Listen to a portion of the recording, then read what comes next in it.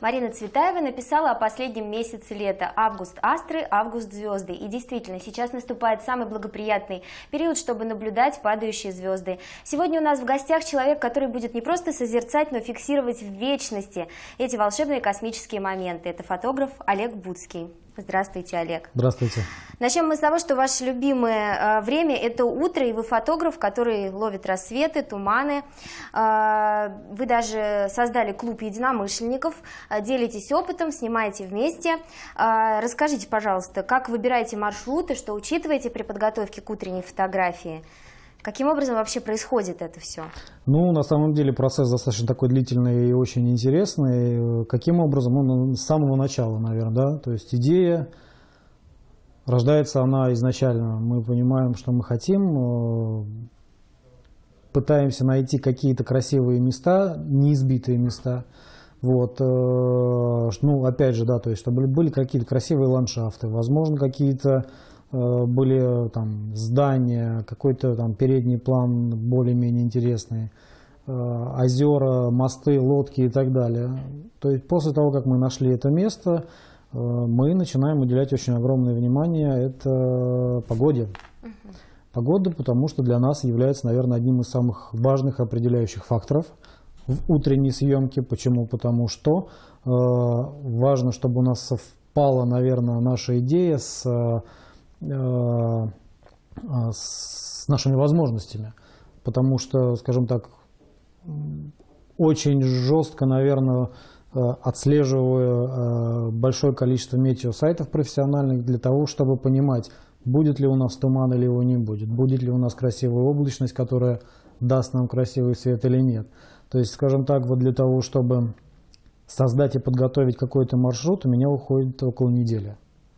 То есть в воскресенье мы съездили э, на какой-то выезд, мы отсняли материал, и с понедельника я уже начинаю готовиться на следующие выходные. То есть автором идей являетесь именно вы практически ну, всегда? Э, как мои коллеги меня называют, да, генератор идей это я. Ну, конечно же, я прислушиваюсь к мнению своих коллег, к мнению людей, которые со мной выезжают, э, потому что ну, одна голова-то хорошо и один взгляд хорошо, но когда взглядов много, это еще лучше. При этом фотоклуб уже сейчас э, довольно-таки большой, за недолгий корот... Ну, промежуток времени, за недолгий собрались люди, которые встают ни свет ни заря, чтобы отправиться с вами вот, э, э фотографировать солнышко э, на рассвете. Почему люди приходят в фотоклуб, как вы думаете? Ну, в первую очередь, наверное, люди Туда приходят люди, которые на самом деле уже действительно состоялись, да, и у людей есть определенный жизненный опыт, и люди по большому счету э, ездят, чтобы получать удовольствие. Потому что здесь основным моментом как раз является получение э, какой-то, наверное, удовлетворенности, получение какого-то, наверное, такого вот наслаждения, любованием, от, от любования природы, от любованием того, как вот ты, ты, ты своими глазами видишь, как рождается новый день. Вот это, конечно, вообще, вот это, это, наверное, самое дорогое, что может быть. И, понимаете, передать на словах, ну, достаточно сложно. Поэтому всегда, я всегда всем говорю, и вам говорю, и вас приглашаю обязательно посетить данного рода выезда.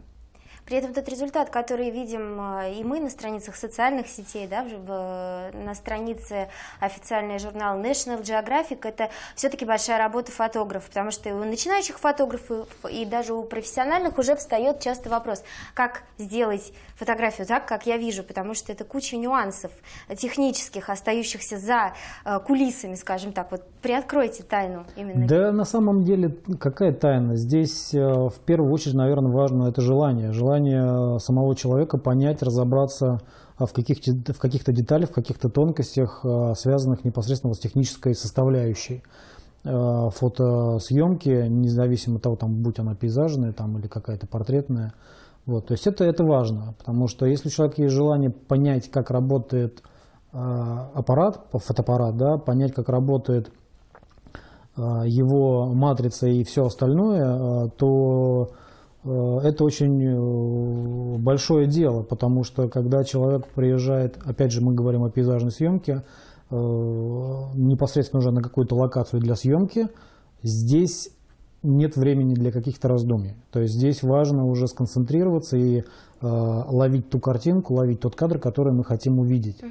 Потому что время быстротечно, солнце, вот тем более летом, оно встает очень быстро, и уловить вот эти вот рассветные мгновения, уловить вот этот вот теплый, э, красивый свет, это вот нужно успеть это сделать. Поэтому времени, как правило, на технические какие-то аспекты не хватает.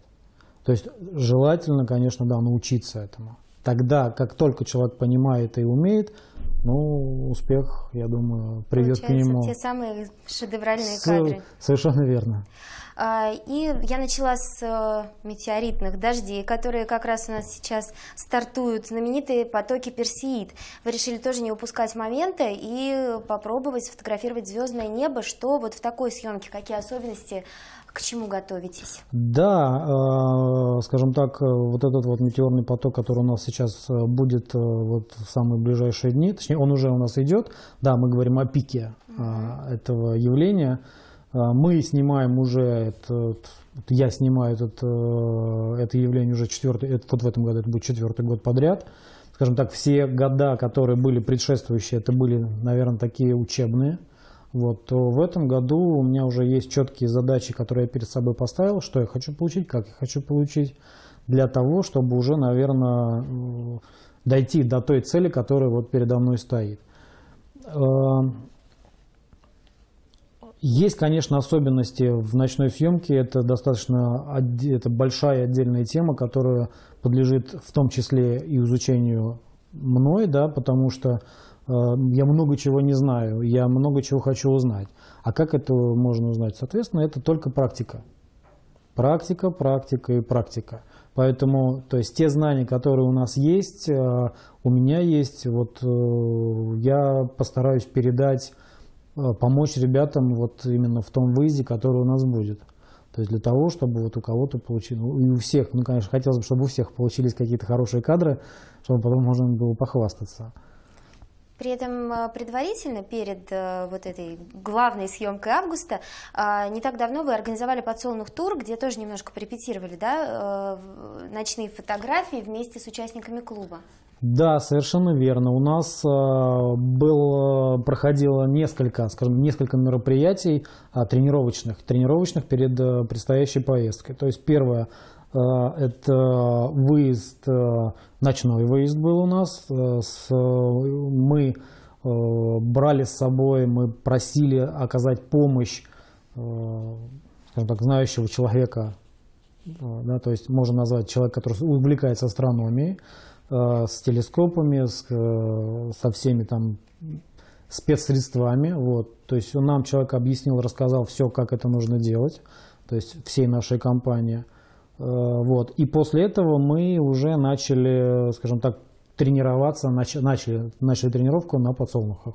То есть и вот сейчас плавно с подсолнухов мы переходим уже на основной, да, на основной источник съемки, это звезды. Ну и можете дать э, несколько советов нашим телезрителям, которые, может быть, без фотоаппарата захотят посмотреть на падающие звезды, загадать желание, куда лучше уехать, э, где лучше наблюдать, созерцать? Ну, Э, как вам сказать, самое важное просто понимать, где этот поток у нас будет лучше виден. В силу того, то, что у нас все-таки 21 век, и у нас сейчас практически вся Рязанская область находится в таком хорошем освещении, да, поэтому в черте города, конечно, будет ну, очень сложно увидеть. Соответственно, нам нужно выезжать за пределы, за, за, за черту города Рязани, и чем дальше, тем лучше. То есть нужно попытаться найти такое место, где световое загрязнение, скажем так, минимально. Мы, вот в частности наш клуб, э, мои коллеги, мы уезжаем на север. То есть в северной стороне э, нашего бездонного неба будет находиться как раз вот этот метеорный поток, то есть основная да, масса. Э, то есть мы выбрали такое место, где действительно не будет никаких засветок, ничего, где небо будет бездонным, и мы будем все это видеть даже невооруженным глазом. И замечу сразу то, что с нами собирается достаточно большое количество людей, которые не являются фотографами. То есть люди едут с палатками, люди едут э, со своими там, термосами и так далее. То есть просто люди едут посозерцать. Напомним, по прогнозам специалистов, в моменты максимума ожидается около 100 метеоров в час. Если по каким-то причинам вы пропустите падающие звезды, ищите их на снимках у членов клуба у истока. У нас в гостях был Олег Буцкий. Мы прощаемся с вами до следующих выпусков. Всего доброго! Thank you